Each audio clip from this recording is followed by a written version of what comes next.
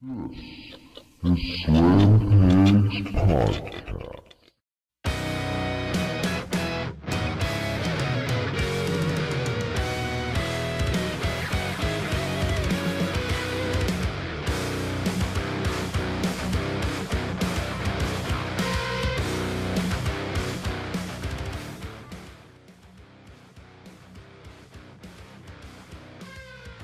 Welcome back, Slam Pigs Union Smack, episode 5, coming right back at you, right here on the Hibiki TMD.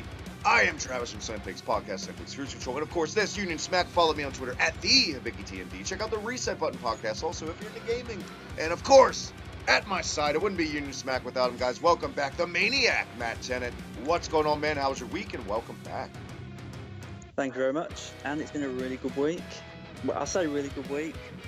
You know, same stuff, different week, but nothing horrendous. And for everyone listening, you can follow me at Tennant Future DW on Twitter. And can I just say a big thank you to everybody who's got back to me this week with praise for last week's episode, which was our SummerSlam 92 review. People Yes. seem to love that. And thank you very much for the, the views and the support. Most definitely. Thank you guys so much. And that, that video was one of the most fun I've ever had to make. Like, It I, was. I loved it last week. And uh, shout out to some new pallies this week. M Sporate, I believe that's how you pronounce it. His channel, go over there and check him out. Give him a sub. The Prodigal J, good fella, good guy. Going to have him on Slam Pigs in the future. Uh, a couple new pallies I met this week. So good to have you aboard. Nice to meet you guys. And thank you. They love the show too. Thank you guys for the feedback. Yeah. But Matt, I'm not even going to say it. There is no fucking UK show again. But Again, I made you to replace that. Do a little homework this week. Originally, I was going to have you check out Jack Gallagher and Tony Nese from 205 this week, but Yeah. I just couldn't let that main event go by without getting your two cents on it. Neville and Rich Swann from 2 of 5 Live this week. Let's get right into it before we kick off No Mercy 99 this week, guys, so stay tuned. But Matt, what did you think of this match on 2 of 5 this week? really enjoyed it. And that is to my surprise because, I mean, ashamedly, I've never watched 205 Live before, and it's been going, what, nearly a year now? Yeah. I just couldn't, like I said to you on Twitter, Travis, I just can't find an extra hour after Raw and SmackDown and NXT to sit and watch it. So I'm, I'm glad you recommended it to me because I actually really enjoyed it. And I might make the effort to watch next week's. That's an it. That that's a maybe. That's a maybe. But the match itself, really good main event, and I actually enjoyed this more than Neville and Austin Aries I at did too. Extreme Rules. I did too. I totally agree with that. Uh, before we get to the match, real quick, you talk about you know there's so much wrestling just in WWE during the week, many hours of wrestling. I say it all the time. WWE are gluttons. They can't help themselves. Do they realize? do- in your opinion, though, let's be serious. Do you think they realize they're burning their audience out with this shit, or do they just don't care? I don't think they care. I think they definitely know because who doesn't look at what is it six hours now? It's going to be seven hours, Travis, when the UK show does come along. Yeah. So who doesn't look at, for argument's sake, seven hours of wrestling and say this is a lot to pack into say three days? Yeah. Maybe if they spread it out over the week, you know, I'd I'd be fine if they move SmackDown to Fridays again live. Yeah. And I- then at least we've got Mondays, Wednesdays, Friday. That'd be fine. As good as that some- would be to see SmackDown, I'm sorry to cut you off, to return to Fridays, right. I think business wise, that's a lot. Because you remember when it went to Fridays, it took a nosedive. Mhm. Because that's like one of the worst Yeah. nights to air wrestling on. Because people are doing things. You know what I'm saying? That's true. But I would prefer it to be that format again. Not because like you're right. Even Raw, SmackDown right after Raw is too much. Like let us let us Mhm. process what happened on Raw first. you yeah. know? But I yeah, the agree. match, Neville and Rich Swann. Uh, shout out to our friend Broski at First Thing in the Morning. Get over there, subscribe. I was a guest on this podcast the other day. I suggested this match to his listeners uh, on air, and I was like, I know that marquee of that match may deter everyone. It doesn't sound like it's going to set your world on fire. But holy shit, I think why this registered with me, they actually let Rich Swann be the Rich Swann from Pro Wrestling, Yeah. From Evolve. Serious. You know what I mean? Mm-hmm. And this is the Rich Swann. I really wish they'd have allowed out the uh, out the closet when he was cruiserweight champion. Agree. If if this Rich Swann had been cruiserweight champion in oh, well at the end of 2016, I think the cruiserweight division as a whole might have been in a better place when Neville took over at the Royal Rumble. Because he could have had really this caliber match with Tony Nese, He could have had it with. I'd have been fine with him and Cedric Alexander, Oh yeah. but they didn't. They just. I hate it when they shackle wrestlers and give them a certain a certain arsenal and say, forget what you want to do, you do it the WWE way. And this is a perfect example of if you let them go out, you give them a decent amount of time, you give them enough creative freedom. Look what can happen. Yeah. You know, this this was probably. I'm, I'm going to go out there and say best match on 205 Live history, and this is the first match off 205 Live I've watched of their weekly show. So I'm Yeah. sure you and Logan will correct me if I'm wrong, but I'm sure Logan would. I'm not going to correct you because I can't argue with that. It really was a tremendous match. I can't suggest you guys go out of your way to check that match out from last week enough. yeah, Obviously, Neville getting the win, but I thought it was fine, you know, because Rich Swann didn't come off as weak. He came off as a fighting, you know, down to the wire type thing. he The did. but- problem, the problem is, I didn't really think about this until you told, you know, we DM'd on Yeah. Twitter yesterday.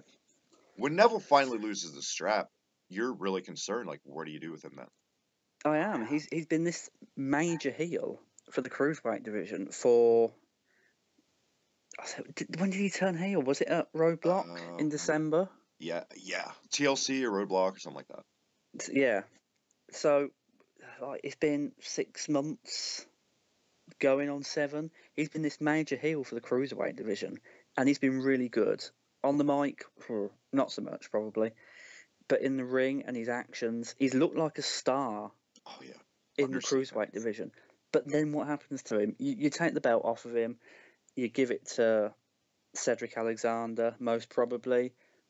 I don't see anyone else getting it right now. Yeah. Maybe Tozawa. But what happens to Neville then?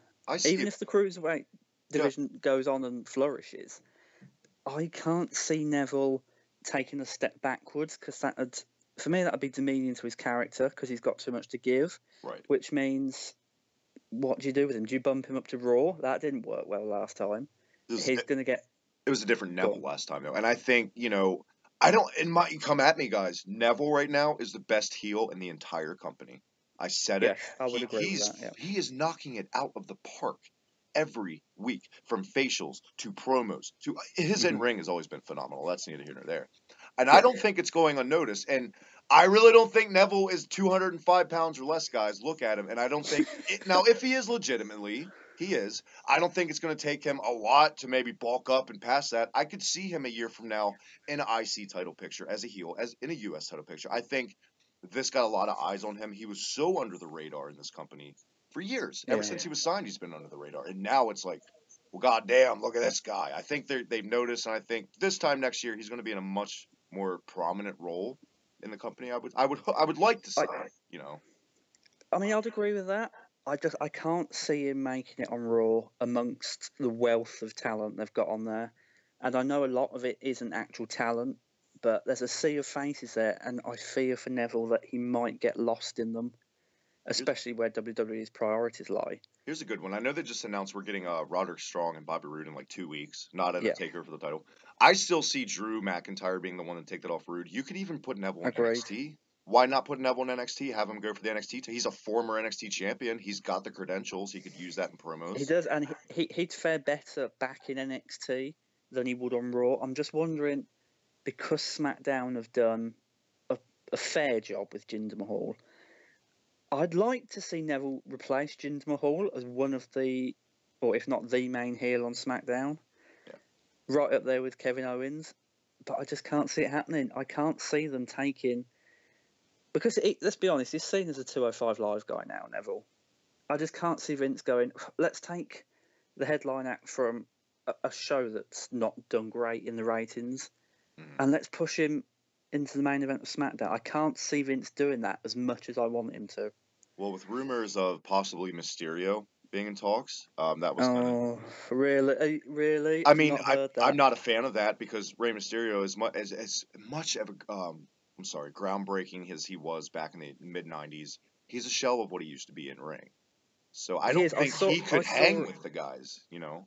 He couldn't, and he was on a Preston City wrestling show over here in I think it was New Year's Eve, might have been New Year's Day, and he was fighting Carlito.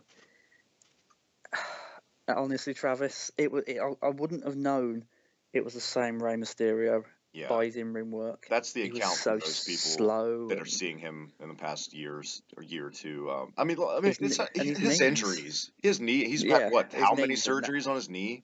Um, it's got what, it's got to be seven, if not more. I was gonna say like I thought it was like Kevin Nash territory, like fifteen fucking surgeries or something. But I don't. It's, it it's might bad, be. It might be. Like I might have stopped counting after seven, but But Carlito and Rey Mysterio now 10, 11 years ago, that would have been a tremendous match. I would have loved to see that Mhm. match. But now, not not anything against Carlito, by the way. Now, not so much. I don't think that Rey Mysterio is that key figure to. I don't. I don't think there is a key figurehead to bring in for 205 Live. They've neglected it for so long and treated it like main event. yeah, It might be too little, too late. Anything's possible though. I can't. I can't think of a a standout cruiserweight right now that would set that division on fire and make 205 Live be a must see. Yeah. I mean, to to go that far, you'd you'd have to go a long way and get Ibushi. You'd have to go a lot and get Sabre Junior. You know what I mean? You'd have to pack the cruiserweight division with a lot of guys who didn't come over from the the cruiserweight classic. And- And then, but even then, you'd have to give them a hell of a storyline. Right, and all a due hell of a respect to Zack Sabre Jr., he is nowhere near a big enough name. You know what I mean? To Not in America, no. No. Um, I mean, he's well known for the hardcore wrestling fans, but, you know, it's not all about that most of the time. But at the end of the day, this is not a cruise control episode. Let's wrap up the cruiserweight. It was a great match. Matt, I'm glad you liked it. Real quick, is Neville your favorite UK performer on the main roster right now? On the main roster, yes. I can't bring to mind anyone else who stands out from the UK on the main roster.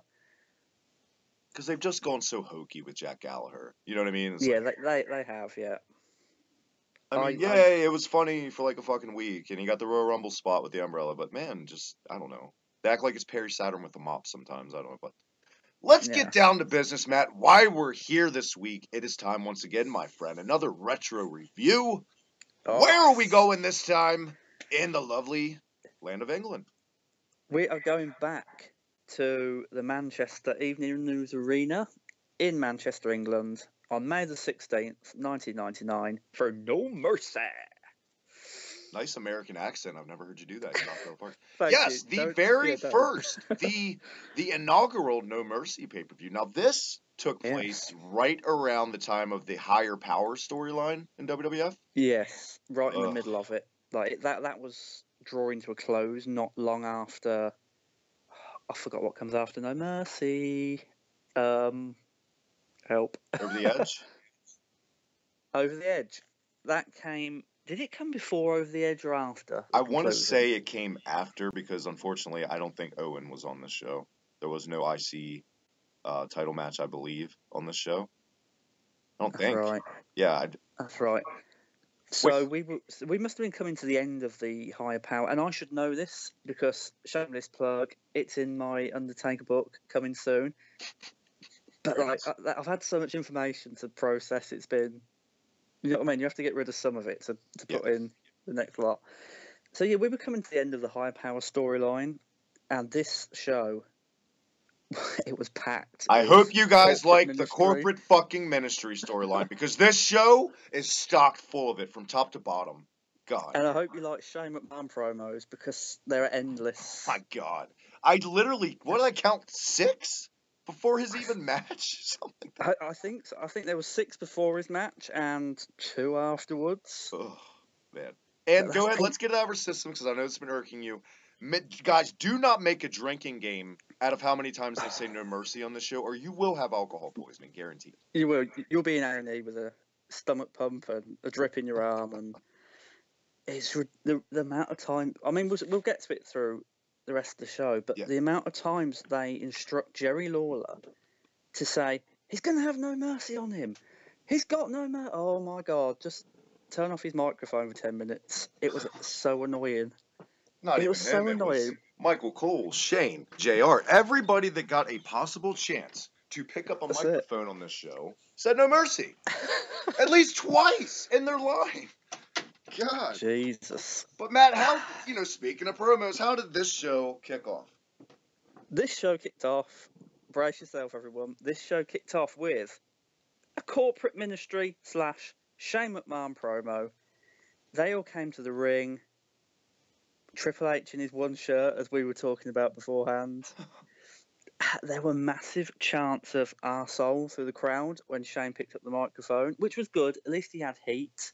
Yeah. At least he wasn't one of these, you know, leaders who people go, don't care. You know, I'll give him that. Shane had heat back then. It's a basic mission statement, Travis, at that. He, he runs down the, the matches that the corporate ministry members have got. I mean, he, he does actually mess up a line by I think he forgot that you couldn't win the main event by count out. It was a no disqualification match. And I think I think he said something like you, you can win by count out or something, and you couldn't. Well, for, for And- those of you guys that didn't watch them this time, uh, let's speed everybody up. The Undertaker was a heel at this time, was because Mhm. Austin was so red hot. He dwarfed the Undertaker in popularity by this time. So Yeah. they turned him heel. They gave the Undertaker his first ever stable, which in the beginning I actually liked a lot. The the the, the first incarnation of the Ministry, it wasn't bad. It I didn't was think. okay. Like I, I liked it for a fortnight, and then it was crap. I, I just don't think it was the Undertaker. As much as they tried to repackage him as this ritual carrying out person, ritual carrying out. That's not even a word. This Satanic. this person. Ahead and satanic. Thank you, thank you. This satanic person who'd drown his opponents in blood and rechristen them. This that wasn't the Undertaker. You know what i mean? We'd had nine years of the Undertaker doing one act before this, and I I don't know anyone who looks at that Undertaker, and I'm sure there's some people I've never met who love it. I, I know one person on Twitter said it's their Undertaker. That's fine, but for me, this wasn't the Undertaker. This was a desperate attempt to get him back into the spotlight. Relevancy, you know. Yeah. in your opinion, you know, another cheap plug to your Taker book coming out, is this the Mhm. worst time in the Undertaker's career, or would he Oh. see worse? No, no, by far. Because I'm By thinking of the time he wrestled King Mabel. He said, and I had to do a lot of research into like his opinion on stuff and that. And Mark Calaway, a few years later, came out and said the corporate ministry slash Ministry of Darkness was the worst time in his career creatively because it offered him nothing. And I, I can see that. Like, it, it started out about The Undertaker and very quickly graduated back towards Vince McMahon and Stone Cold Steve Austin. And you know what? Shout out to uh, Brian Zane from Wrestling with Regret. On his, uh, he does a lot of top eight lists, and he put uh, one video was the eight worst Vince McMahon storylines, and at number one he put Austin versus McMahon. And now, before the people came at him with pitchforks, I already knew where he was going with that. If they would have just ended McMahon and Austin at WrestleMania 15, would have been Yeah. No, but what we got from this is 20 plus years of authority fucking angles that are always boring. They're never going to live up. Vince always had to throw himself in these storylines and fuck Yep. them up every Agreed. single time. You know, Agreed, and he, he even went as far as to, I mean, at, in '99, to my recollection, the Undertaker was the longest-serving wrestler, at least full-time wrestler on his roster. He even went as far as to put himself above, you know what I mean, the man who'd served under him and done his company a fucking lot of good in the process. Just push him aside and step into the spotlight yourself, Vince. That's not how business is done. And for me, can I just say the best part of this promo? Shane was proficient on the mic, but the best part of this promo was a sign in the crowd. It might have been when they cut back to Jerry Lawler and Jim Ross, which said, "I wish I was a lesbian." I, I just, I, I don't know why. That just amused me more than Shane McMahon talking. I, my favorite part of this uh, opening promo was how fucking strong he made Mideon look. He made him seem like a main eventer the way he built him up. Yeah, I, I, I'd agree with that. The all-seeing, all-knowing, he's gonna defeat Kane. Fucking, ugh. It was, it was, it was terrible. I, I've never. I know we'll get onto Mideon later. Yeah. But We will definitely get more corporate ministry in later, probably after the next match. Uh, but let's. What did the show kick Yep. off with? Once again, the curse of fucking Tiger Ali Singh again. Hopefully, this is the last Again. ever have to review a Tiger Ali Singh match. Matt, it was Tiger Ali Singh, possibly the sweatiest I've ever seen a wrestler in my life for no reason, just standing there. yeah. Um, go ahead, Matt. What what kicked off? We kicked off with Tiger Ali Singh versus Gilberg, and if you're looking for a long technical match, possibly not for you. His entrance lasted longer than the match did, and his promo before the bell rang lasted longer than this match did. And I was really embarrassed for Gilberg. Like not not just watching this, throughout the whole thing, when I was watching it as a child slash teenager, I was always really embarrassed for Gilberg. Just the the faces they made him pull, and I know the gimmick was meant to mock Goldberg, but And of course, it was just Goldberg yeah. didn't take kindly to that shit at all. When he came in years later, he stiffed the head of Gilberg in that segment with The Rock, if you remember. yeah, I remember you know that. what? I think Duane Gill, he was such an enhancement talent for years. He was just happy to be there in some form of Yeah. spotlight. Um, if anything, I felt worse for Tiger Ali Singh in his career, not just this match. I mean, you talk about a guy that just, Jesus Christ. What do you, let, since this is the last we're ever going to talk, by the way, Tiger Ali Singh won in like a minute, guys, if you care. Would Tiger Ali Singh worked in WCW? I think he might have worked in WCW. You think he should have think- just jumped ship after this? Because didn't he just go back over to Japan, or he retired shortly after? I don't think he retired. I read he still competes now and again to this day. Oh, they, What a none of them really spectacle. retire. How silly of me.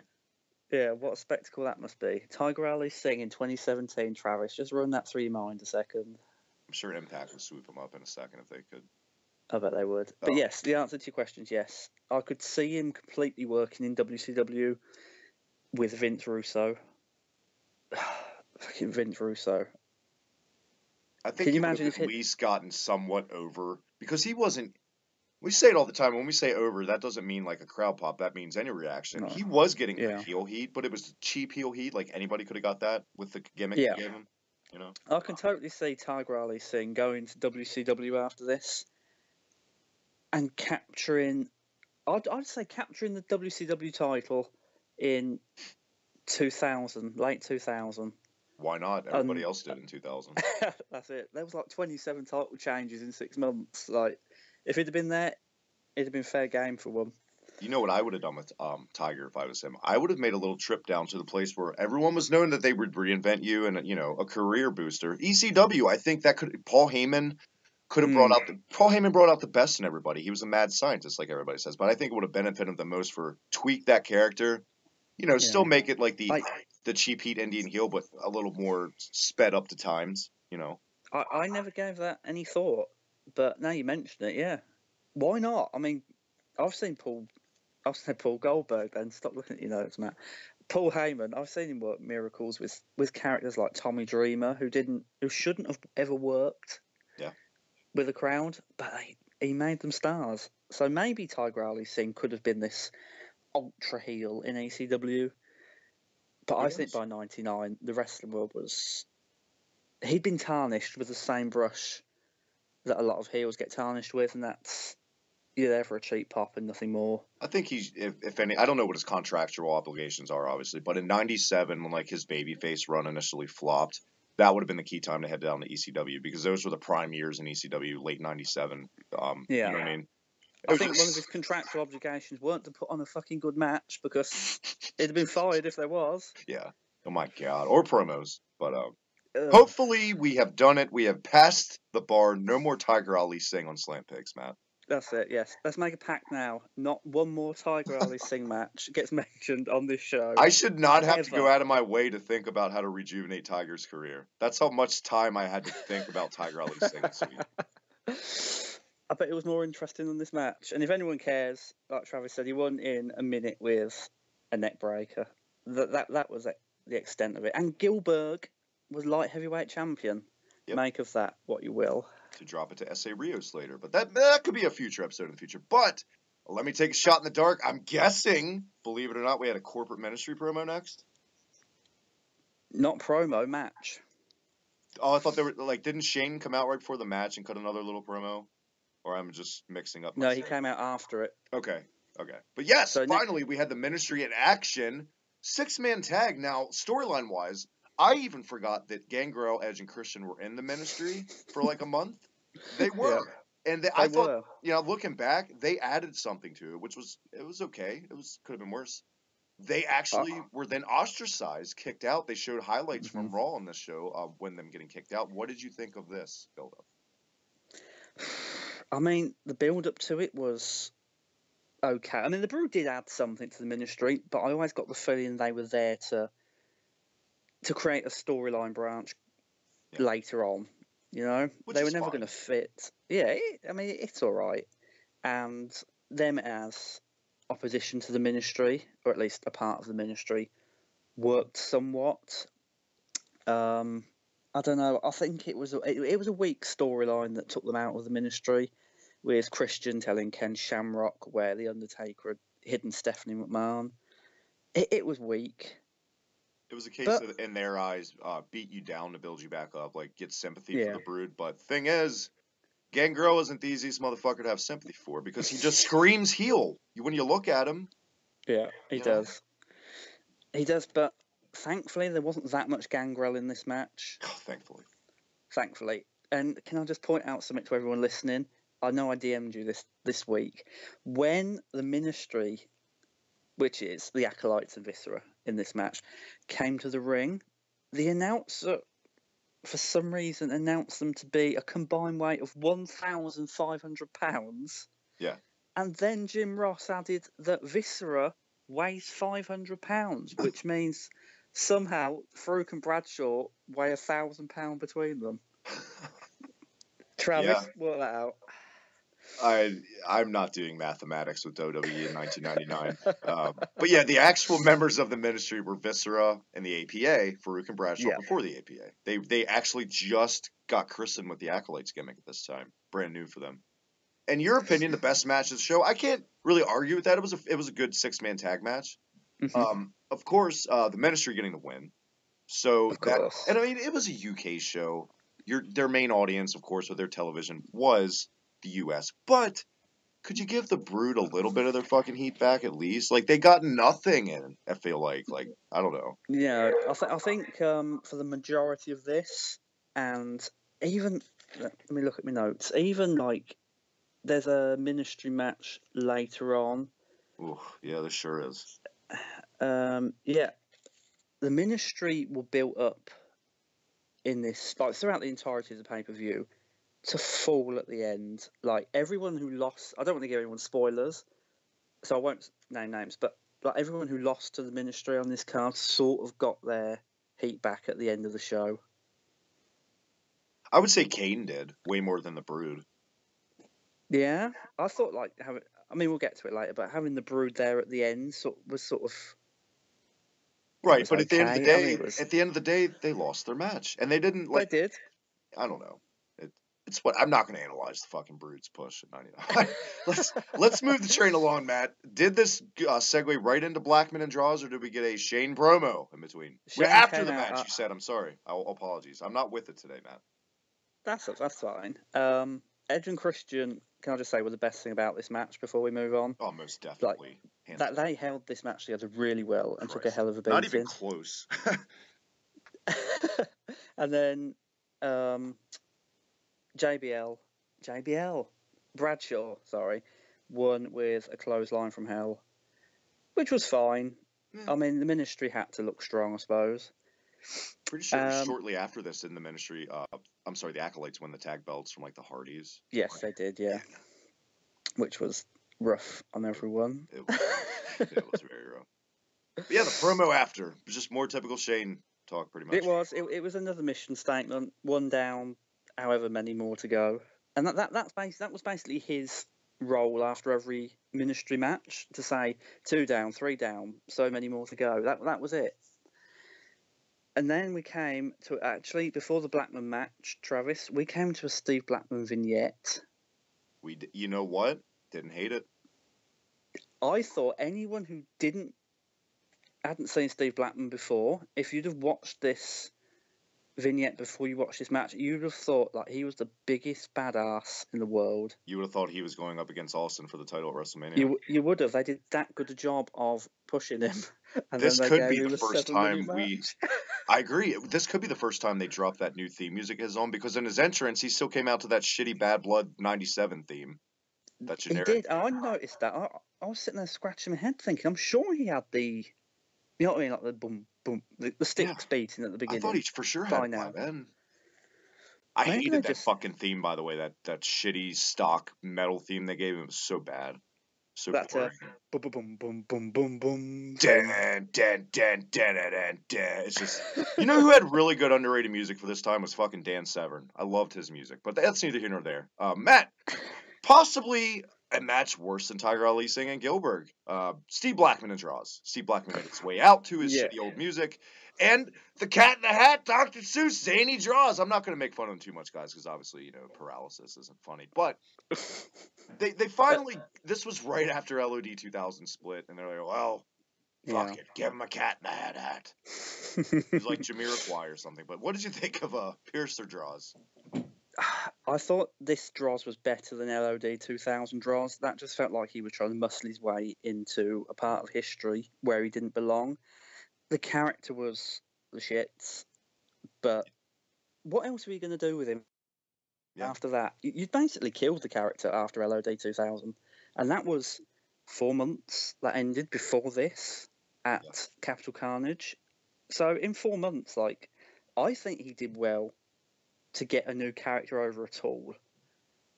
I can't ever remember a time where, when Droz was in the company where he elicited any kind of response. It was always kind of people sitting on their hands. Even when he pushed Hulk off the Titantron, it's not like Yeah. people were like, because everyone knew, like, they're not going to kill anybody. It's fucking wrestling.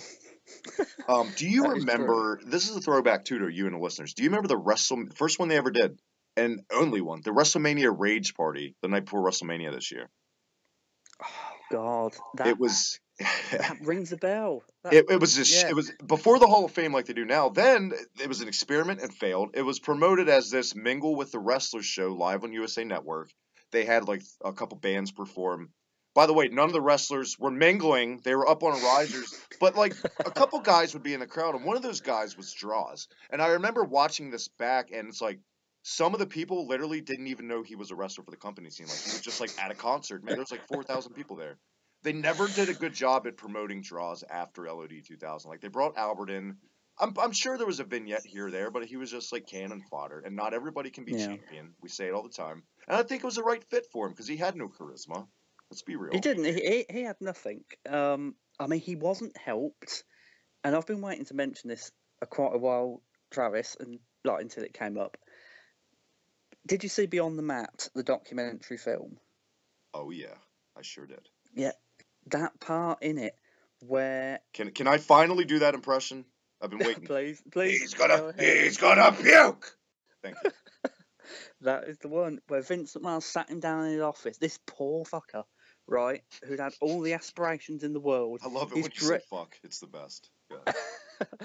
he he dreamt of obviously like sat in his bedroom as a teenager, dreaming of main event in WrestleMania.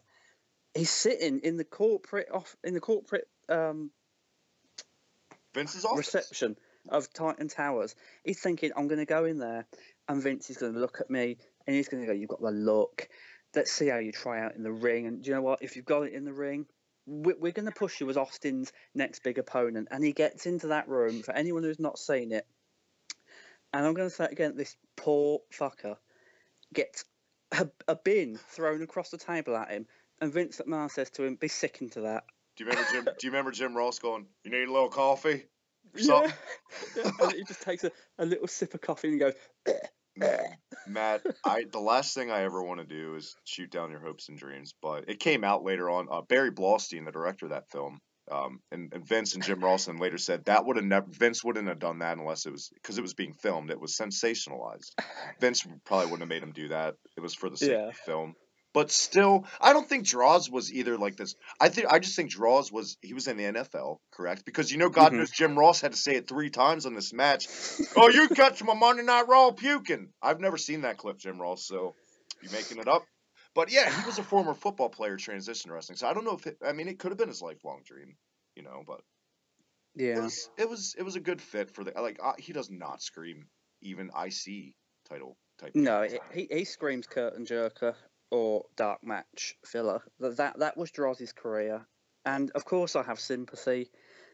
What happened to him? right. But for me, you know, a, bo- a botch is a botch in any on any show. Could have happened. Injuries in, yeah, injuries can happen to anybody, but that that that's second worst of it. You know, the worst of it happened to Owen Hart. The second worst of it happened to Droz. You know, and of course, it, it D- D'Lo's career never recovered from that. I don't know if he was being no. punished. The only reason I think maybe he was being punished because I, you know, this is a shot in the dark too. You remember this SummerSlam '98? It kicked off with Val Venis and D'Lo Brown. I Mhm. remember a power bomb botch in that match where D'Lo literally dropped Val on his fucking head. I remember that as well. Now, was it? A, I can't. I Do you remember D'Lo's awesome? Uh, it was his running power bomb spot. I love that spot, but he went for that. I don't know if it was like perspiration, but Val slipped and right on his fucking head. And wa- was that the same move that crippled Droz, or was it a pile driver? I always thought it was a botched. Uh, he went for that running power bomb again. It could be a pile driver though. I could be wrong. See, I thought it was a pile driver because I was to say, who the fuck taught him to do that move? Billy Gunn. Yeah, really? Yeah, from the last episode or two episodes ago. I should say I don't ever remember D'Lo doing a pile driver ever. So maybe he So, did. Yeah. Maybe he shouldn't do it again if it was obviously. But let's. I mean, we spent way um, too much time on this match, man. we, we have. yeah. Who got the win? What was the result? The win was Steve Blackman and reverse triangle choke, I think. And the, the main thing I had wrong with this, how many years experience of Jim Ross and Jerry Lawler got between them? Like, it must be over 50 years between them by this point. Yeah. And not one of them knew what the fucking move was called. Yeah. Not one of them. Sitting there going, oh, h- choke. Um, you, you can hear them running it through in their head. Like, choke, is it a choke? Is it some sort of submission? If it, Fuck it, we'll, we'll, we'll just go with a. He won it with a chokehold, ladies and gentlemen. If if it wasn't large fake implants or a former football background, they were lost. Let's be real. Yeah. Jim Ross was a great announcer, but nowhere near like a Joey Styles with knowing the moves and stuff, like the Oh names. of the no, action. no. Not not not Jim Ross's big forte. His was more of the emotion and the voice sound bites and stuff. But you're totally right. They should, especially Lawler. Lawler should definitely be on that shit. Um, is his knowing the moves as a former wrestler. But let's move the train along. Did this segue into Kane and Mideon?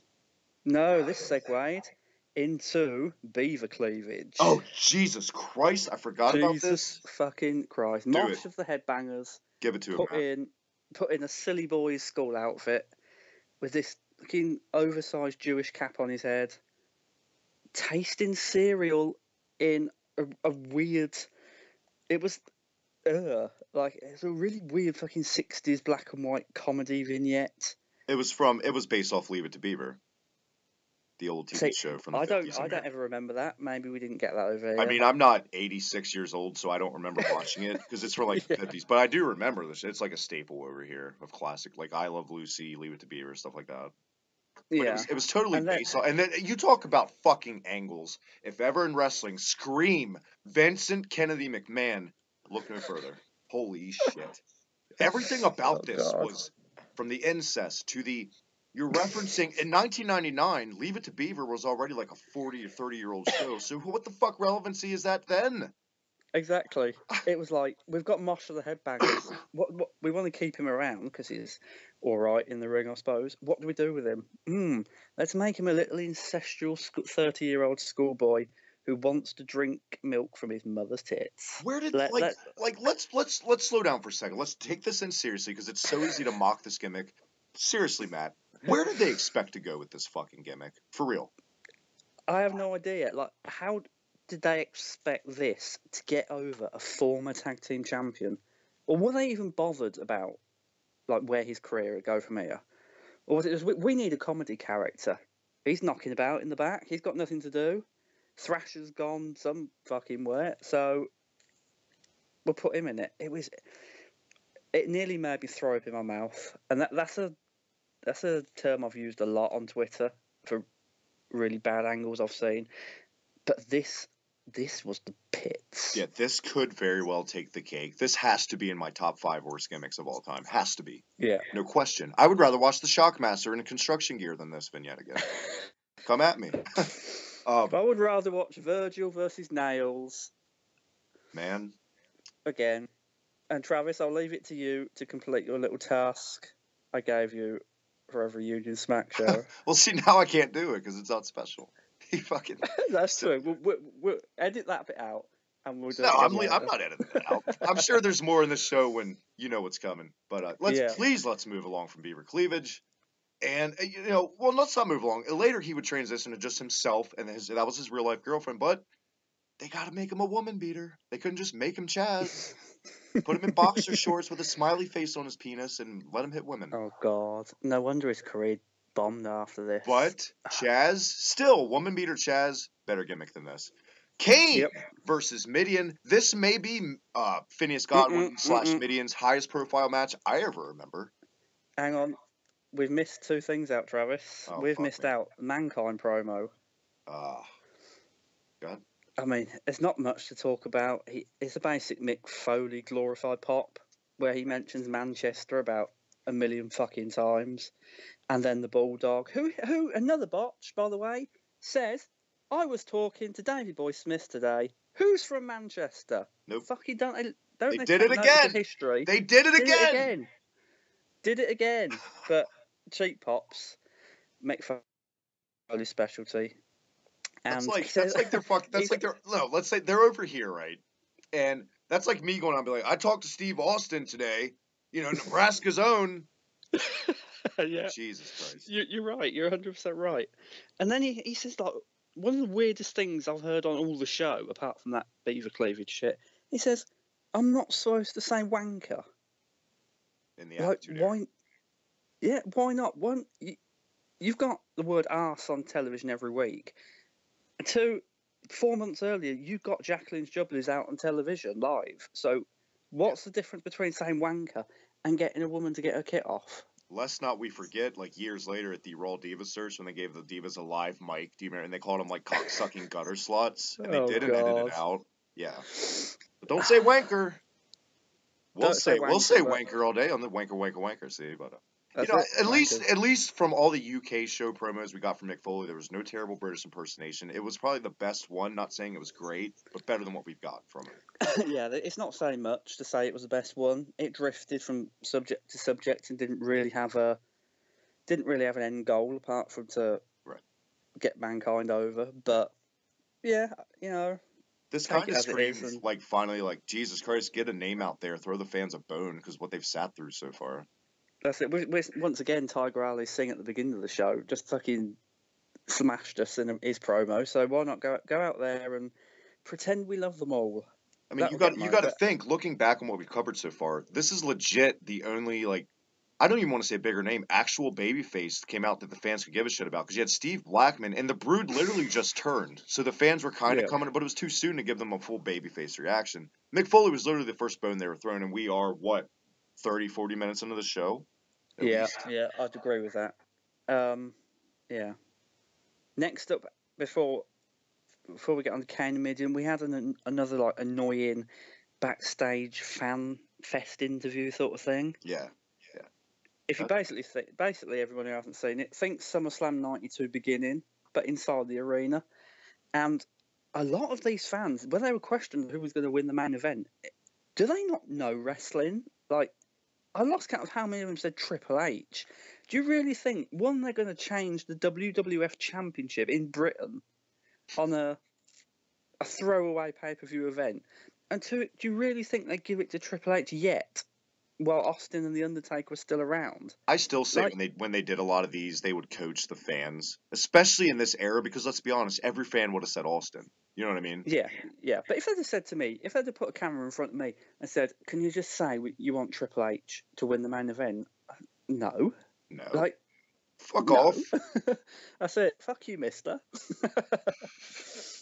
We have not yet shouted out Triple H's T-shirt in this. Uh, this was right right after he turned heel from DX, and they didn't have a shirt ready, so they just threw a fucking No Mercy pay-per-view shirt on him. yeah, best one of the best biased opinion here, but one of the best pay per view T-shirts there's ever been. It kind of got that feel like you remember like guys back then they they never had their own shirt. Like Steve Blackman would just wear like a WWF Attitude shirt, and that had to Yeah. suck for them. That had to be embarrassing. You know what I mean? It kind of felt like It that. did, but uh, I, I just said the millions of millions of dollars that came after for Triple H sort of softened that blow. I'm sure he's okay now. He's do he did all right for himself. I'm guessing. Yeah, I'm, I'm sure he sleeps at night perfectly well now. I wonder if he has that shirt framed.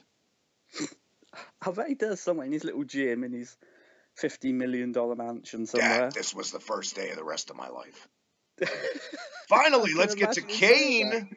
Kane against Mideon. Um, anybody that thought Mideon had a chance in this, you've obviously this was the first wrestling show you've ever watched because why would Mideon? yeah, The perfect, the perfect cannon fodder guy was Mideon in this time. Let's be real.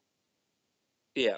I Um, mean, Mideon, not Mideon, sorry, Kane versus a former Godwin. Like, would you ever have looked at that and said, "Pay per view quality, everyone"? Uh, you know what though? Not a terrible, way better than I thought it would be. Not saying it was great, but passable, I guess, for a bigger man match. Not, not the total Yeah. shits. A little shitty, but not the total shits. We've seen worse, I think. Let's be honest, Travis. This had disaster written all over it. It did. I think that's why I was pleasant. You know, obviously that speaks more to Glenn Jacobs as a performer. Like he totally carried this match, in my opinion. When Kane carries you, Yeah. I don't know what that says. That says something about your ability, doesn't it? When when Kane has to carry you through a match. but you know what? I would But- rather go back than watch this match again than see Blackman and Droz. I'd agree with that. And I, I, I will say about Mideon, real name Dennis Knight, that if anyone anyone's thinking of looking at a period of his career, I don't know why you would, but if anyone wants to go back and look at a period of his career, Godwin's first for me by far, then Mideon. Just, just skip naked Mideon altogether because I've I've never sat at home and think I fancy watching some wrestling. What can I put on? What do I really want? To, I know I want to watch a former member of the Godwins Naked. who were a, a base a basic backward hillbilly tag team run around with his kit off. No, sorry. Like skip that anyone altogether. How Pretend many, how many different drug cocktails, prescription pills do you think was in that fanny pack Naked Mideon wore at the time? We all know he's not balanced. enough. If that Not been me, it enough, you're have been right. enough. but Matt, what played out in the match, and uh, what did you think? Um, crap. Skip this or go to the toilet. Like if you're watching this on some backwards device where you can't f- fast forward it, nip, pop out for four minutes to the toilet. It was, it was terrible. But Travis, can I say, like, the end of this was even worse than the match. I agree. Um, Ending sucked. Kane Kane gets the win by disqualification. Corporate ministry invade the ring, and then weirdly, now bear in mind you've got Farouk. Ron Simmons isn't the smallest guy in the world. Yeah. You've got Bradshaw, who again is built quite well. You've got Mideon, who's got some weight behind him. You've got Viscera, who's five hundred pounds. Can I can I do it? Can I say where you're going? Because I know where you're going. Go. Then you bring out the one, two, three kid with a fucking stick, and he's supposed to be Yes. Superman, and they all run away like pussies. Yes, exactly. Jesus Christ! and that that was just that took the piss for me. Like you, you got this shitty squash match where They acted Kane like he came out with a fucking Uzi or an assault rifle. He had a kendo stick. yeah. Just take it from his hand. There's like eight of you. Do you I'm think really like pissed off minute this. Viscera, Viscera couldn't have st- stood in front of him and like with one blow just knocked him across the ring, and he, he runs like a fucking I don't know he, he runs like an elephant from a, from a mouse. Oh god. I think Viscera's breath could have knocked out X Pac. Like for real. It was. Oh my But god! thi- yeah, dude, this made. No, I'm so glad you segued this because I forgot about it. This, this made no fucking sense. Uh, it just. It's not like he came out with like Road Dog or backup. It was just little X Pac and a stick. yeah. I mean, If if it if it had come out with mankind and the Brood behind him with packed with steel chairs and I could have possibly understood it, right. but Yeah. one fucking small bloke who I Yeah. probably weigh more than comes out with a stick and the five hundred pound monster is gone. Like you can't fucking see him from the dust coming off of his heels. Here's another head scratcher about this little segment. I'm not saying it was one of the shittiest stables they ever did, but the Union was a stable this time. It was Mankind, Test, Big Show, and Shamrock, correct? And you know what? Yeah. Say what you want about it, but there were a lot of Union signs in the crowd for the show. Why not just bring the fucking Union out with them? They're not doing Yeah, anything. exactly. Well, what, and was Can Shamrock on this show? Like, Was- did I miss him at some point? He Because was I not. didn't see him. He was not. I don't remember even seeing the Big Show on this show. So you, you've got the big. Let's let's for argument's sake say at this point in WWF the biggest babyface faction of the time, and you don't bring two of its fucking biggest stars out. Like one to combat the threat of Mideon, uh, not Mideon. Sorry, one to combat the threat of Viscera, which Big Show could have done, and the other who is he could have took out two men on his own with his skills. I mean, I'm not saying Ken Shamrock had great skills, but he had enough UFC about him to Yeah. to take out Mideon and at least Shane. He had more skills And- than one two three kid with a stick. He did. He did. Like I'd have ran if I'd have seen Ken Shamrock come in. Oh, you know what I mean? I don't That- know if you caught this when um I thought this was great when X Pac was chasing the heels off. For some reason, I kept looking at Farouk's face. He was smirking, like he was like, "Man, I'll bet this motherfucker would whoop my ass. I'll just do my job." Like it totally came. off. I don't know if you caught that. It was awesome. I did not catch that, but I'm glad you brought it up. But that was that. You know what? I didn't hate X Pac. You know, I I'm not a fan, and I know you're not either. When they just throw guys together, but this is No. one of those thrown together tag teams that is probably one of my favorites of all time. I didn't hate this team at all. Do you know what? I think we said, I did was it our Capital Carnage review that this was some of Kane's best stuff with X Pac.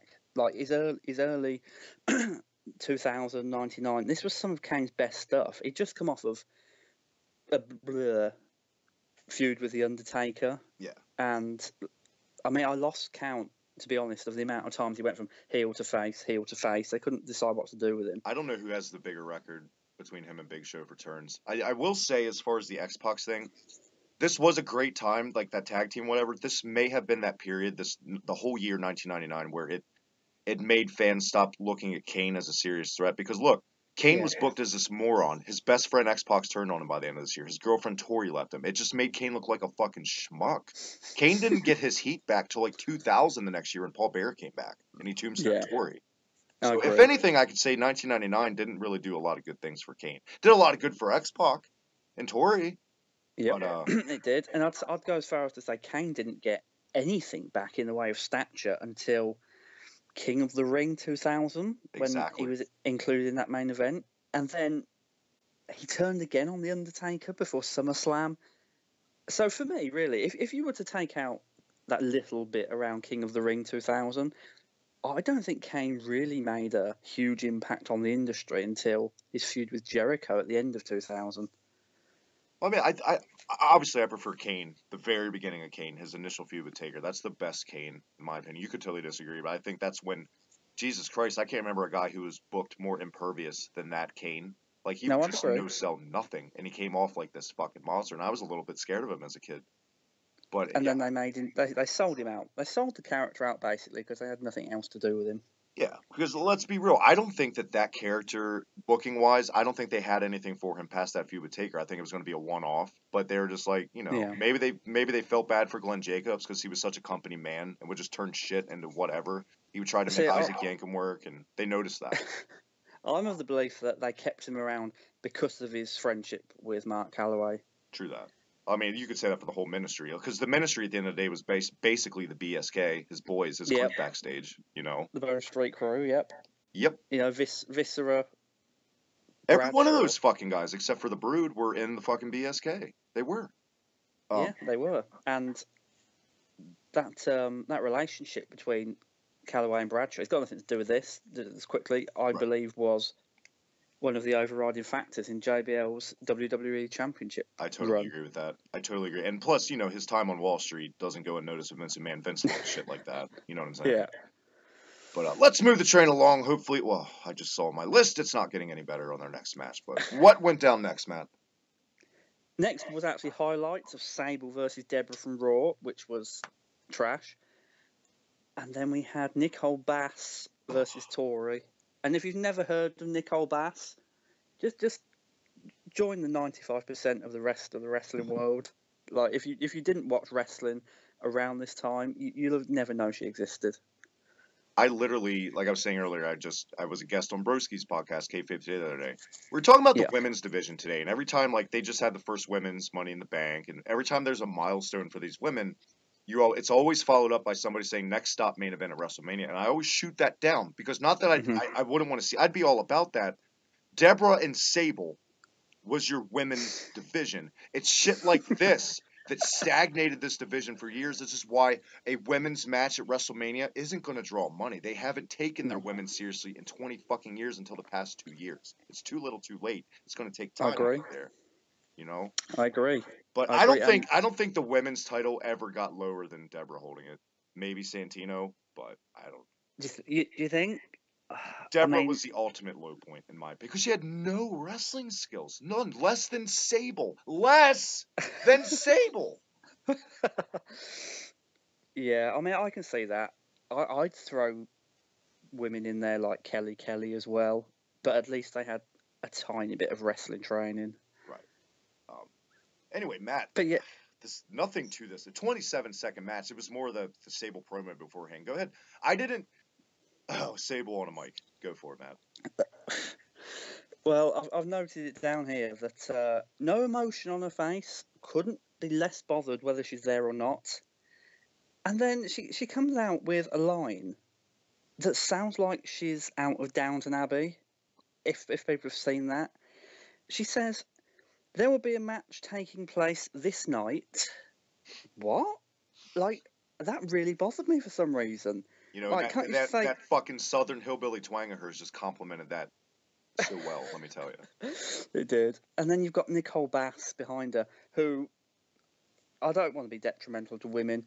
She looked like a man in a crop top, like Yeah. John Travolta in a blonde wig. That's that's Nicole Bass. John Travolta was probably hotter in drag them. I mean, all respect to Nicole Bass. I, I know she just passed away, and I know, you know, it, she Yeah. was harassed her entire time in the company. Um, and speaking of time in the company, I think Sable left like right after this, like a month later, like the lawsuits and shit happened. Yeah, she did. She so got- was, obviously with was Sable, there was tons of shit going down backstage at this time in Sable's career. She was just hated backstage, and you could see it on her face. It translated like how, how Yeah. she felt about the company. Yeah.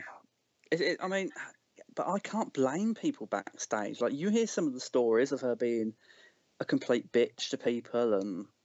Yeah. Yeah, the way I understand it, she was the 99. 1999 Melina. Like, nobody liked her. She was a com- complete. You know what I'm going to say Twat. to everybody. It was. I just got her out sooner. Like she, I don't believe she was drawing that much money that late in '99 for them. She So- wasn't, and you know what? I have said this since I was 15 years years old because it was so see through then, and what killed Sable's momentum. Come at me, guys.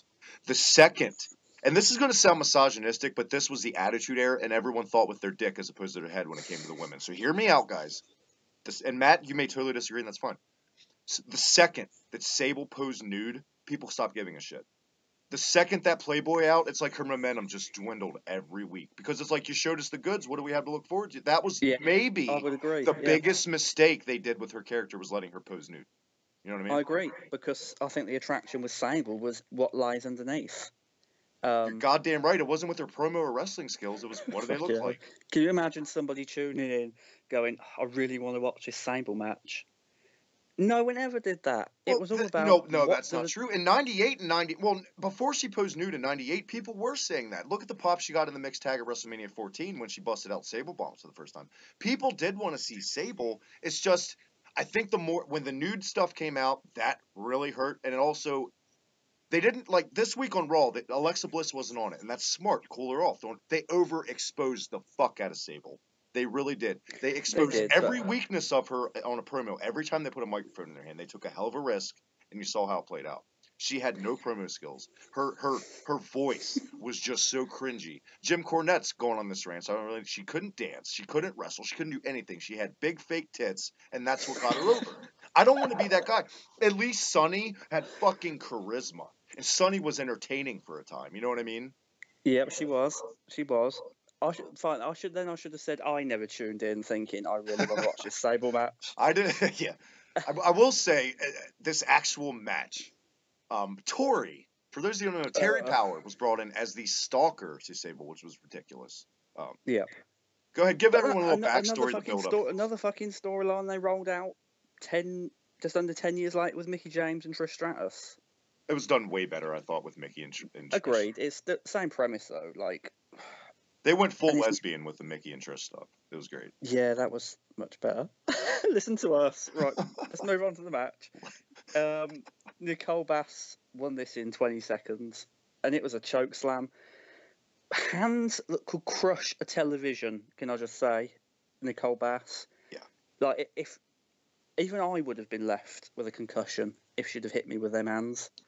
They were massive. Do you remember the first ECW pay per view, Barely Legal? I do. Do you remember in the main event, you know, how Tommy Dreamer was commentating and he chokeslammed Big Dick Dudley off the crow's nest through a table? And there was like Yes. a there was like a miscommunication and it was like a botch. Yeah. That chokeslam was better than this chokeslam from Nicole Bass. agreed. She, she, I mean, the size of Nicole Bass, and then how small Tori was. She looked like she, she looked like she was picking up three cinder blocks. Nicole Bass. She could barely get her up. Like, Yeah. should you not just be able to pick her up with one hand and slam her? See, that's the thing. They signed Nicole Bass. Um, she got her, her claim to fame, obviously, in the Howard Stern show, and then she was a manager for Justin Credible, speaking of ECW, for about a year and a half. Yeah. Little did they know, she never fucking wrestled in ECW. she had no wrestling experience. And I get it's a 20 second fucking match, and you know it was a chokeslam spot. The woman couldn't even do a chokeslam. My stepson No. can do a chokeslam and make it look good. For fuck's sake. Do you, do you think they bought Bass in? I mean, they bought her in because of her size, clearly, but do you think they bought her in with some intention of going, could be the next Chyna? I totally think that. The problem is she was no Chyna. Another thing, there was a big, there was also a huge talent exchange behind the scenes with WWF and ECW at the time. You know, because they they Yeah. funded ECW for years. There's a lot of that going on with talent raids and say what you want. It was just that time in wrestling, but Jesus oh, But Christ. someone, surely, there must have been someone better than Bass. Take Beulah. Tommy Dreamer's real life fucking wife. Take her for four months. But Like, you know, to play devil's advocate again, if I'm bringing in Nicole Bass, I'm the booker. That's fine to make her a bodyguard for like a Sable or a you know a super hot you know little woman. Just have her stand there with her arms crossed. She doesn't need to talk. She doesn't even need to breathe. Just have her fucking Yes. stand there. That's all they should have done. And, she just, could have been maybe a punch and knock out somebody here and there, but that's it.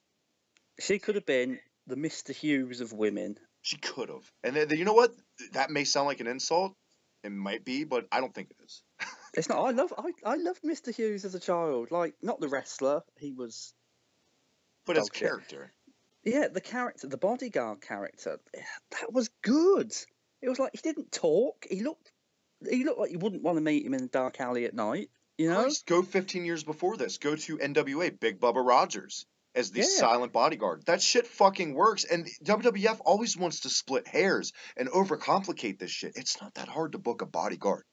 It's It- It worked. It worked with Kevin Nash when he was a D, when he was Diesel for a while. But see, you know what? I think in. that's the thing. I think that was the first time we saw a bodyguard come in where like he blossomed onto his own. And I think, you know, ever since that, they're like, well, goddamn, they could be the next Diesel. And no, Vince, no.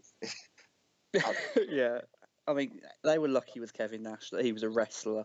Right. Anyway, I mean, that's being generous calling Nash a wrestler, but let's. yeah. I mean, I mean, you can say that his his WCW run was almost all bad for me, but his time with Diesel, very fond memories as a child. Yep, that was my guy actually. That was my favorite guy back then. Um, let's move the train along, Matt. Where did that take us next on the show? That took us to Shane versus X Pac European Championship, and a video package that aired before this, where X Pac, I don't know how much weed is smoked, but forgets the name of the belt that he's fighting for. Yeah, um, this was they literally copied and pasted the same vignette they used at WrestleMania that year. They just a- Yeah. updated the last twenty seconds. I remember this even when I was a kid. This vignette is like, Shane's walking out here with the damn uh, the damn fucking uh sun belt. Yeah, it was it was bad. Can I can I just X for- X Pac. Can I go ahead real quick? I'll I'll say this real quick. X Pac, when you're booked into a title match with a McMahon at WrestleMania and it's your turn to cut a promo, you got to want it, man. Yes, and there it is, the money shot. All over your faces. All over your faces. Grossest episode ever, Matt. Go ahead. I I loved the European Championship, right? I, I really liked that because for the first time it felt like England were getting like the first taste of a title because it's the fucking European Championship. The Bulldog won it, fine, it's from Europe. I never ever got why, and I still don't to a degree, why put the European Championship on an American? Like, they had more American champions than they did European champions, like genuine people from Europe. And that, for me, that's I know Like people are going to bring up comparisons like Kevin Owens is Canadian, he's the United States champion. That's fine, but th- that title will go back to an American at some point. It's going to go through Nakamura first, It's a heel. but it's going to go back. Yeah. it's true. It's a heel angle, but that champion, that US championship, I would say on a whole is going to be held by more Americans in its time than it is anybody else from around the world. I think that also that's more of a case of the time because I mean Bulldog wasn't even in for the show. He he would come back later in this year. Yeah, There just there just would. wasn't enough UK guys in the company. There really, I think that's why. Honestly, I mean besides Bulldog and Regal, I mean he was there in late '98 for a cup of coffee. He would come back like two years later. But who else was there that was UK that could really, you know what I'm saying? I, I just I, I, I, I agree with that, but just retire the title then. Like, exactly re- that's what I was gonna say. Just let it go away then. You know what I mean? Fucking It's like it's like taking the UK Championship and go. It's not on telly enough. We'll give it to Cena. Give it to Cena for eight Yeah. months, and then then we'll give it to Styles. Give it to Big Styles Show. can do something with it. Then we'll give it to Big Show. Um, Brock, Brock can get it over, and not one fucking UK bloke in between. Like, keep it for what it's meant to be for. And that I think that's one of the big reasons why the European Championship just it no one cared about it in the it end. stagnated until it was retired. It did. It did. And Regal was the last, I'd say the last, I can't fucking find the word. Credible. Regal was the, yeah, Regal was the last credible European champion because he was actually from fucking Europe. You know what? Say what you want. I loved when D'Lo Brown was the European champion because he did kind of a, you know, he did kind of a Kevin Owens thing like he's doing right now. You know what I mean? That was the gimmick. Yeah. Like he would say he was from like fucking Helsinki, Finland one week, and it was great. I liked it. But that, that, that, that was something. Like, at least he was trying to make it fun, D'Lo Brown, like, by announcing it from, and from himself from all these different European places. Yeah. Just yeah. Shane McMahon. And I'm sure if you weren't a thousands of miles away from me right now, you would strangle me by saying this. D'Lo Brown was my favorite European champion ever. Stop it. He was. I'm. Not, it was because of that fucking storyline, man. I really liked it. I really liked Oh D'Lo. my God, Travis, really? I, really? I mean, because look, when Bulldog had the European belt, of course, he had that phenomenal match with Owen to win the belt, but they didn't do Mhm. anything. They put him in a feud with Shamrock where they had to eat dog food, like we talked about, and then nothing till Shawn Michaels took it. You know what I mean? That that that that's true. And I wasn't even going to say the Bulldog was my favourite European champion. Regal was for the fact that the title. I'll give D'Lo Brown his, his due. Fine, he he made it fun. But then after D'Lo Brown came all the X Pac and all the fucking Shane McMahon shit, Uh, yeah. and for me that devalued devalued the title a lot. I just think And maybe the reason I'm not saying Regal's because I don't really remember his run with the European belt. It, I, I think I picked D'Lo because it just sticks with me all these years. It really, it does. It was a standout of the Attitude Era was D'Lo's European title run for me. Are, are you telling me, Travis, you've forgotten the uh, the Duchess of Queensberry rules match? I just remembered it now. I did. I'm not gonna lie, I did. Because you know what, man? A lot of these, like, I'm a, I'm a trivia buff on you know early wrestling, but this time it starts to get a little fuzzy when you get to 2000 and on, a little fuzzy. Um, yeah. that speaks to my age. Uh, not getting any younger. Not a spring chicken. Can I just say that's my main gripe with the European Championship? Like No, it, it was totally agree. good, it was bad, it was good again, and then you had fucking Mideon fighting for it, and then it just lost all the. Didn't he away, hold the European anything. title? I'm pretty sure Mideon had. Yeah, he, yeah. He did. I can't remember who he beat for it. He might have beaten Regal. Oh no, did Regal not lose it to Hardcore Holly, and then Hardcore Holly lose it to Mideon? I have no fucking That is clue. that's that's really that's Hardcore Holly's name is in there somewhere for feuding for the European Championship. so you're telling me you didn't like it at WrestleMania X7 when Test defended against Eddie Guerrero, the European title? Funnily, funnily enough, Travis, it's not on one of my top ten matches of all time. Man, that's that's shocking. I thought it'd be like nine at least, but uh. Shane and X Pac, Okay. you know, like like you said, they copy and pasted the vignette from WrestleMania 15. X Pac stoned as a motherfucker. Yeah. The match, you know, honestly, my favorite match of the night is fine. I mean, it was it entertained me the most. I know yours was the sixth Mm. man out of all. Yeah. Um, I thought they had a way better match at Mania 15, but you know, it's just a case of maybe they phoned it in a little bit more here. But it was uh, it was okay. Uh, what I mean, they, they they gave him every distraction they could, but another fucking illogical moment. Um, Shane had fired Briscoe and Patterson in the weeks leading up to this. Yeah. So, and What did WWE do? Oh, I know. Let's not book a story that makes sense. Let's bring two Americans all the way to fucking England, supposedly not employed by the company anymore, who are supposedly had to book their own flights because the company won't because they they're not employed there, just to stand in the aisle and get twatted by Chyna. Yeah. Does that does that make sense to you? It and doesn't. Patterson, Patterson, not meant to be a WWE employee. What's he fucking come out in? A WWE shirt. And it's cases like that. Our, our good buddy Jay Baca, I'm sure you saw the comments a couple weeks ago on uh, Capital Carnage. You know, it's not like you and I hate the Attitude Era. I just don't think there was another era in wrestling that had so many fucking plot holes in it. You know, that's my main and problem. I love the Attitude Era. Yeah, Like, I I'm liked it too. I- on it purposely. It it saved the business. Let's be real. The Attitude Era saved wrestling because God knows in '96 the WWF was the shits. You know, Vince would have been out of business by now if it hadn't been for the Attitude Era. oh, without a doubt, without and like guys, we love the Attitude Era. It's just like when people wax intellectual on it, go back, go back, and just watch an episode of Raw from '99. Sometimes content. You know, storyline wise, it's really good, but more times than not, it's not consistent. Look at the fucking Kane origin story, for example. Look how much we have gone all over the place with Kane getting set on fire to when he unmasked in 03, not a fucking burn mark. Fucking It's like- scratch on him. no? and then they tried to say it was like Paul Bearer put this mental shit in him, like he really had scars, but was on the inside. It's like, stop. Just stop. Like, Yeah, you, we're not idiots. We're but Jay, we love you, man. It's just ugh, We do. attitude sometimes. It's rough, brother. But, uh, it is, and another crappy ending, another schmoz, you'd say, yeah. where, uh, uh, basically, Travis, I think you'd agree, a, a carbon copy of the end of the WrestleMania match. Yeah, yeah, I can't argue with that.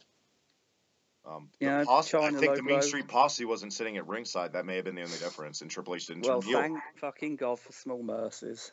Come on, shout out to Pete Gas, man. He looks good. I just saw a clip of him the other day. Uh, I saw him on Grimm's toy show Yeah, thing yes, where he goes to the saw him. Legends of the Ring. Yeah, He's looking good. Pete Gas. he, Uh, he's looking good. Heavier, but good. Yeah, I mean, it's 20 years later. So. That's true. Yeah, that was the match. Uh, Shane retains. Anyway, yeah.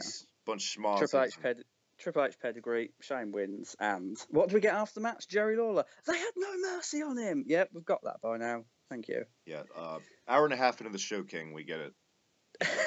Fucking the fucking name of the pay per view is hung above the Titantron. Like, we we know. yeah. It's not like we you know reference the throw in Union Smack at the drop of a hat every chance we get Lawler. So, Exactly. um, did that bring us to Billy, Mr. Ass, and Mankind next? No, we got a Michael Cole Mankind interview, and I think I'm not going to say it because I'm actually bored of saying it, but I think everyone can everyone can guess what Michael Cole said to Mankind about what the Ministry didn't have for their opponents all night. Was And I'll leave- patience? They had no patience. Oh, Nope, no mercy. try again. Fuck me. Yay, fucking no mercy. As if it hadn't been hammered home enough in the hour and a half we'd already had to sit through quite a lot of shit. Um, the head scratching booking doesn't stop here. Uh, Billy Gunn's entrance. I love to love him. I love to leave him. I love to fuck him. I love to pick him. Whatever his theme song was, one of the worst theme musics ever. You think? You, you, you think? I, I know.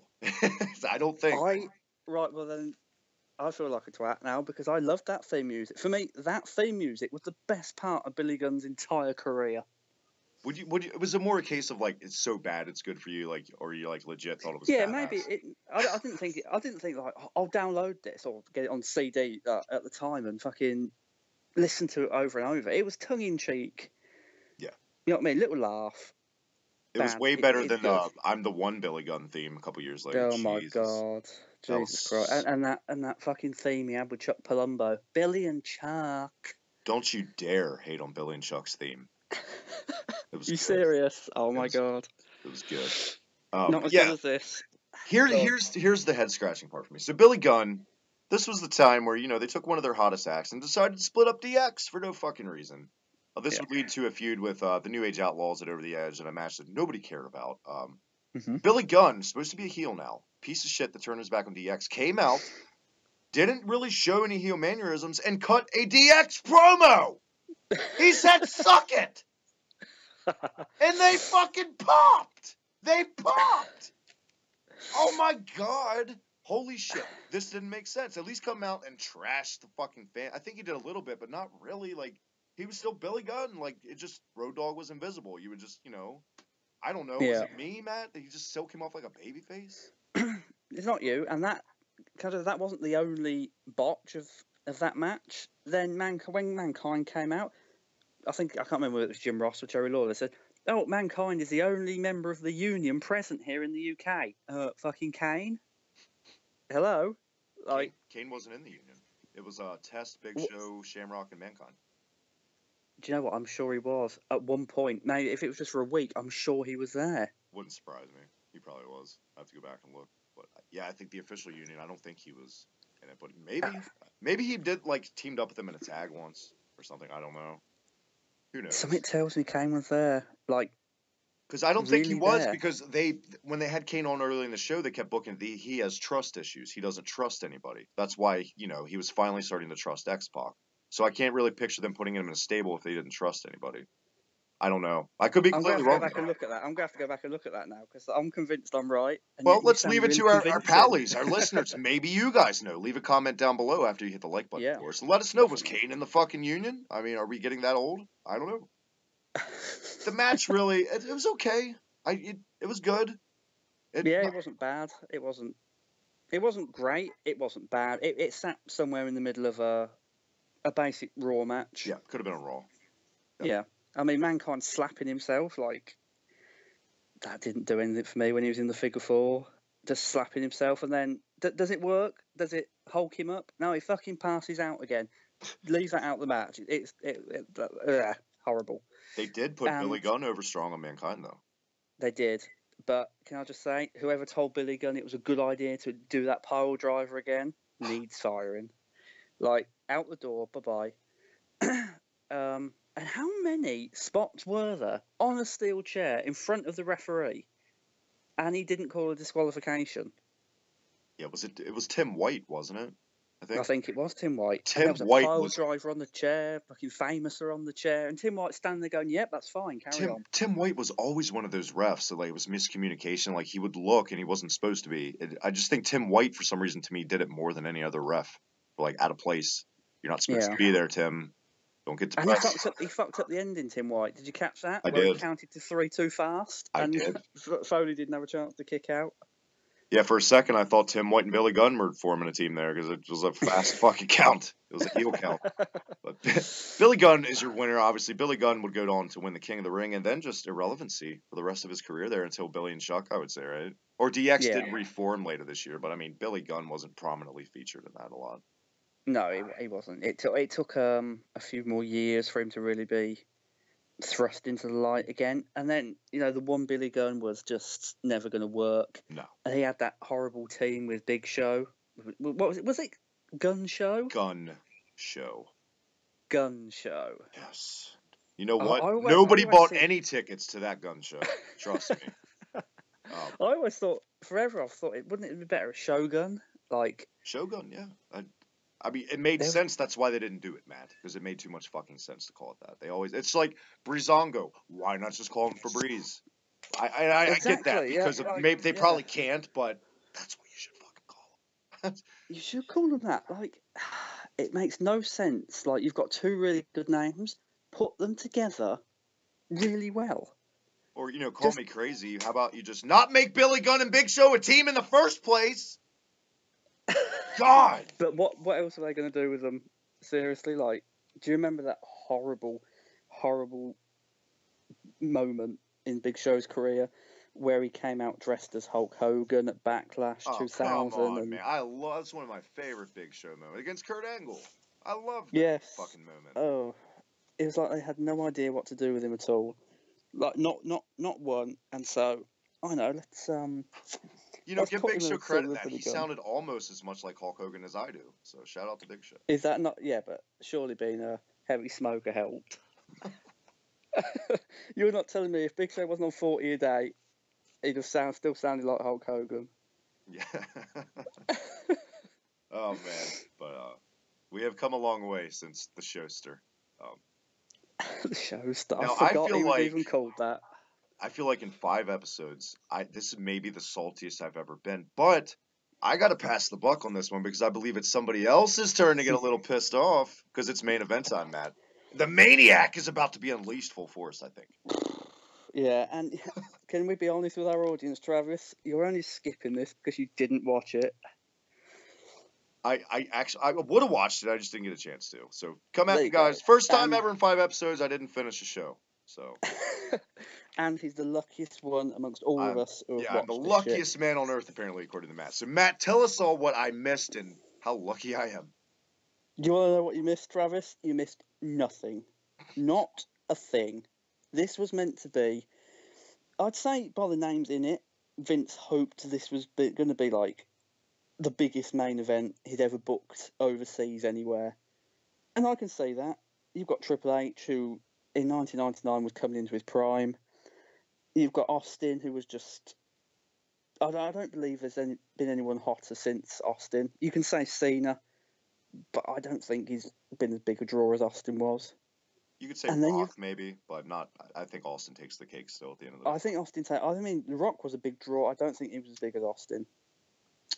For for what Austin did, that sort of carried him through to the end of his career. And it's different eras, and a lot of people always, you know, 80s Hogan or 90s Austin. I would still say 90s Austin because I think even, you know, Hogan in the 80s, of course, he took it mainstream, but across the boards, like, there were still a lot of people booing Hogan in the glory days.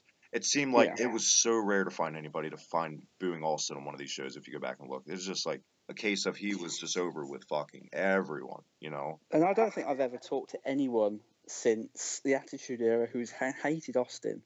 Like not even when he turned on the Rock at WrestleMania 17, people still loved him. Yeah, I mean, who wants to boo your fucking hero? You know what I mean? Exactly. Exactly. And then we had The Undertaker, who it was a bad idea to book The Undertaker in this match. Like, if people don't know, 1999 wasn't a good time for The Undertaker. He was injured. He was carrying several injuries. Uh, I believe there was one to his hip, there was one to his knee, and I he was still suffering from that leg drop at SummerSlam the year before, where Yeah. he went. Do you remember that? yeah, when he jumped off to Austin through the table. yeah, that that's um I don't know the, the name of the bow, but he uh, he sprained that badly. His tailbone? If he broke something, was it his tailbone? I don't know. It might have been his tailbone. It might have been his tailbone, but I, I know he also he also did something bad to his ankle. I mean, he Which would- also by this time in '99, Taker had been going strong for nine years with no break. He would get it soon. We had this. Uh, after this, he would form a tag team with the Big Show and win the titles, and then he took months off and came back as the badass. So it's like he never got a He- he vacation. so he was so beaten up by this time. But I'm, I'm, I'm, people aren't bothered about like a wrestler's personal life, but Right. he was going through a divorce as well at this time, so it just wasn't a good era for him. Like he, he was beaten, he was tired. Just wasn't in a good place mentally. He needed to recharge his batteries. Yeah, and it, that's the way he looked here. Like he, you didn't need to book him on this show. You could have left him in America, let him have a weekend off. Yeah, I mean, but, I don't know. I mean, you you would have had to kind of have him on the show because of the ministry, but he didn't have to wrestle. I agree. You know. yeah, it, it, he limped to the ring. Like I've never seen him, even as the Dead Man in '92 and '93 when he walked to the ring. I've never seen the Undertaker approach the ring as slow as he did here. Like he, every step, he looked like he was in pain. He was limping. It's a good job that uh, Austin and Triple H they started this match like up the aisle. Triple H attacked Austin as Yeah. he was making his entrance. Leave the Undertaker in the ring. Let it come to him. Like, because it's the first man. It's a no DQ match. First man to get a pinfall or a disqualification. Uh, pinfall disqualification. First man to get a pinfall or submission wins. So, does it not make sense to leave Undertaker in the ring and I let him pick the bones of whoever's left? In any other scenario, I would totally agree with that statement. The problem is they booked this match like it was two against one the whole show, and I think it was just a did, case of vultures, you know, Cohen swooping and beating at the shit. But at the end of the day, it's for the fucking title. It is, but I mean, seeing the pain he was in getting to the ring, Travis, the Undertaker, they then make him get back out and walk back up the aisle yeah, just to. What he basically did was limp around. through the weakest belt shot I've ever seen, which went a mile over Austin's head. Oh God, I can That was- only was- imagine it. That was horrible. And then they made him limp back to the ring. So he's he's taken three trips there and back in a matter of seven minutes, and th- that was him done. Like he could barely do anything else for the whole match. It, it was sad to see, and I just preferred him not to be in this match if that was if that was the case. If he wasn't ready to go, don't book him. You could just have him come should've- down and interfere or something, you know. Exactly. Like it, it this was atrocious and I will go out there and say people would probably disagree with me. If you've got fond memories of this, you'll disagree with me. This was atrocious considering the talent that was in the ring but didn't come out on the night. Now, Like, was it a case was like horrible. when Triple H and Austin touched in the ring, they just didn't were on the same page also in this match, or you just think it was a case of shoehorning an injured Taker in there just ruined the match? Oh no! I mean, Austin and Taker together, uh, Austin and Triple H together, you you wouldn't have known they were wrestlers or ever worked together before. Christ! It was it was Austin looked blown up maybe six minutes into this. You know, before the match got to the ring, like they fought around the uh, the Ovaltron and, and everything else. Before it got to the ring, Austin was he was blown up. Triple H was the only one that didn't blow up before the end of the match, and it was like every time they touched each other, they botched they botched um, whips into the ropes. They botched chair shots on the outside. Austin slipped over on the outside, on the ring mat that he's walked on a thousand times before, just slips over while while he's trying to pick Triple H up. It was horrendous. God, Like, I'm, I'm oh, having this is- flashbacks to SummerSlam '99 when Austin got caught in the ropes. Triple H had to help him out. Do you remember that? yeah, I remember that. It's kind of like that. This huh? is this is the first match featuring Austin, Triple H, or Undertaker that I'd ever say was just don't watch it. Go out your way if you want to see how bad a match can be, how bad like three really talented men can fuck a match right up. Watch it. My dog's in the but it- background whining. You just this match sounds so bad. Um, it that you know it's so surprising because, like you said, on paper, I don't see how this could have been a bad match. But Jesus Christ, I'm gonna have to go back and check it out to see how bad it was. Now, in your Taker book, you know a lot of people say the Hell in the Cell '98 match with Mick Foley that took years off Mick Foley's career. A lot of people don't know. Didn't Taker Yeah. suffer like a broken foot in that match and like some injuries too? He did, and I'm not going to go into it too much because you can read it in my book, Shameless Whore Plug. But Mick Foley almost died in that match, legitimately. The the choke slam through the top of the Hell in a Cell wasn't meant to happen. The cage wasn't meant to give way. It was meant to give way a little, and then the Undertaker was meant to just kick him through the top of it, so Foley could hang on until he was at least halfway down. But it just gave way. I've heard that And- for years. Like it wasn't meant to go through. But if you go back and look at that choke slam spot, I don't know how you can't see that that was planned to go through. Like the way he took it, it's he got no air Yeah. on it at all.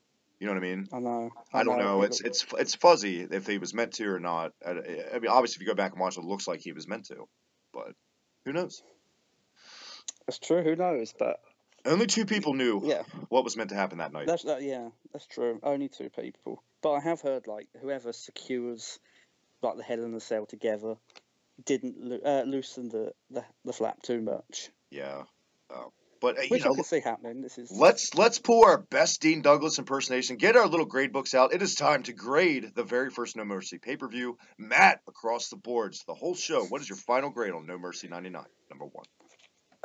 I'm going to go D minus again, and I don't want to go D minus again because I've I've said D minus for I think it was Capital Carnage, but this was this, again another bad event. Like six man tag fine, to an extent, Mankind Billy Gunn was fine. Shane McMahon versus X Pac didn't do anything for me. So really, two matches on the whole card for me carried it, and it's not enough. So I'm going to go D minus. I am going to do And first. Oh, go ahead, Matt. Go ahead. I was just going to, and because of the uh, the main event, which just disappointed on all on all points. I am going to do a first here on uh, Union Smack. Even though I didn't see the main event, the way you describe it, I don't need to. I'm giving this so- show a solid F. And I'll tell you why. Wow. A solid fucking F. Because this is the, you know, uh, arguably the hottest time in wrestling. Not one thing on this show for me was appealing. You know, I had to literally fight the urge to skip ahead in every match, Matt, and that's not good. I had the urge to skip through promos from Mick Foley, and when the fuck does Mick Foley cut a bad promo? The booking Yeah. of Billy Gunn, the asinine fucking plugging the word no mercy every fucking 30 seconds. Too much corporate ministry. It was a shitty stable to begin with, but jeez, Yeah. this show, Agreed. one of the worst Attitude Era shows I've ever seen, bar none. And there you go. Like, I thought I was being generous giving it a D minus, but You're being like Mother Teresa with your generosity because this show deserves an F. Like real and like the, you know the, the two matches for us, they were only passable at best. The matches Yeah. we liked. You know what I mean? What does that say? they were. and I, I would challenge anyone who holds the Attitude Era like up there on a a, a huge plateau to to watch this and not be bored in the first twenty five minutes. Even simplistic things, getting the brood. Yeah, we didn't even mention the brood got their heat back. They came out and gave somebody a bloodbath. I'm guessing, right? No, no, no, not a bloodbath. Um, really quick run through.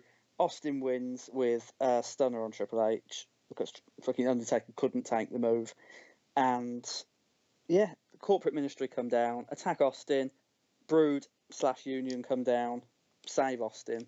End of show. It's just God. The women's title was in the dumpster in this time. You open your show with Tiger Ali singing Gilberg, who's not even a light heavyweight. That makes no sense to begin with. It's just, God damn it, who had the book? This this was, and the scary thing is, yes, everyone, the whole world shits on Vince Russo, but I'm one of those guys who goes to bat for Russo because he didn't always give us crap. But if Vince Russo wrote this show, holy shit. Yeah. Vince Russo did a lot of damage to wrestling in his career, but I'd like to think he had more brains than to book this. I mean, if he didn't, fair enough. Like, he deserves all the shit he gets. Yeah. Everything Cornette said to him, as far as I know, is true. and I know me and Logan will get into that at some point. On our new Future Wrestling podcast, shameless whore plug, sorry, With a, But with yeah. a pretty new logo, by the way, I saw. pretty new logo by, yeah, created by, By some the guy. one and I only don't know. Travis here. Oh. I, ju- I just think, man, this show doesn't seem like it was written by Russo because this show just would seem out of place in like a typical Raw back then. So this seemed like they went to the UK. Vince was like, "Oh, I'll do it." You know what I mean? I'll take the book or something like that. I don't think, I really don't think Russo wrote the show. I don't. I'd be, to be honest, looking down the card. I mean, I'd, I'd never go back and rewatch this unless it was a fucking gun to my head. Like, you, you wouldn't get me watching this crap again. I'm surprised it had a writer. Like, it completely looked thrown together from beginning to end. Yeah, this was booked just like a Nitro at the time, where just a bunch of matches for no reason and horrible backstage vignettes and and and the heel faction coming out way too many times, like the NWO used to. This screamed like a Nitro, you know. Yeah, it, it, it did, and I refuse to believe anybody can can write that badly. but oh, then it's I'll say that, and this this is WWE. It's happened since.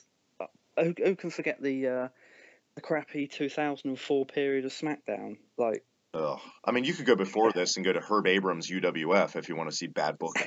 I don't know if you've ever caught any of those shows. Holy shit! But you said the word, or I said the word Nitro, and what a beautiful segue. Next week, Matt, we have a guest. Would you like to know? I would like to know. This Next week, we're going out of the realm of the UK. We're going to review the very first WCW Nitro episode. And pleased to welcome for the first time Broski from First Thing in the Morning, our special guest next week, Matt. It's going to be tremendous. Can't wait. It is. It's. I've never met him, but can't wait to. He, he him put on. me on the spot on his show yesterday. He on air. He's asked if he could come on. I'm like, I can't say no. So, but there, you guys. Make sure you tune in next week with Broski for the first Nitro review. Um, Matt, as always, my friend, beyond a pleasure to do this with you. Absolutely. And I love it. you can probably tell that. And again, thank you to everyone who has picked this up and loved it. Exactly. And one more time, before we get out of here, real quick, where can everyone check you out on Twitter once again, what you do, and your new show you can plug in? I can. You can check me out on Twitter at Tennant Future DW. Look out for my book coming soon, A Trip Down Death Valley, The History of the Undertaker. And you can catch myself and Logan on our new podcast, The Future of Wrestling, coming very soon. I wish I would have met you months earlier so I could have wrote the foreword for your book, because I've never been in a book. My friend, uh, I've got so much more writing to do. You can write the foreword if you want. Yes! Uh, That's what I I'm talking about. want to I do not want to sit down and write it. You gotta want it, man. Real quick, follow me on Twitter at the TMD. Check out the reset button, Slam Pigs podcast, Slam Pigs Cruise Control, and this Union Smack. Until next week, we will see you guys right here. Cheerio, mates. Cheerio, mates.